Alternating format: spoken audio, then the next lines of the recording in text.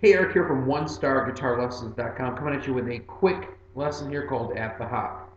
Now I've got a capo in the first fret because I'm doing it in the key that I'm actually hearing it in, but you don't have to use a capo, so you could play it, you know, standard tuning. The song starts out with the intro G,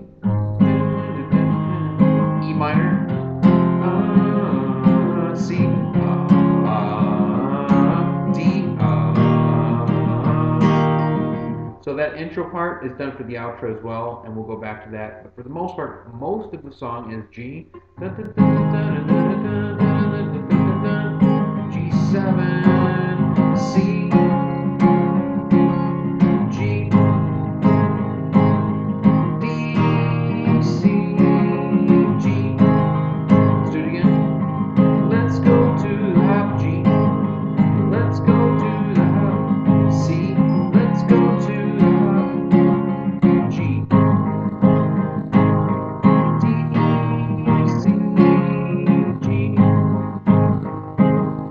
you notice is you could add the G7 in there, that's what I did the first time around.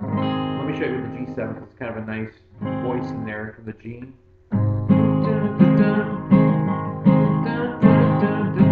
G7, C,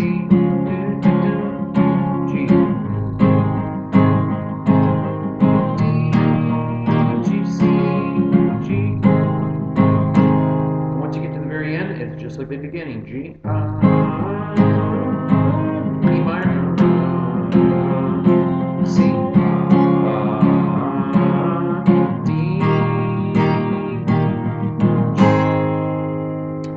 quick strumming pattern, I'm just doing down, up, down, up, down, up, down, up, down, up, down, up. And I'm accenting on the two and the four beats. So it's like one, two,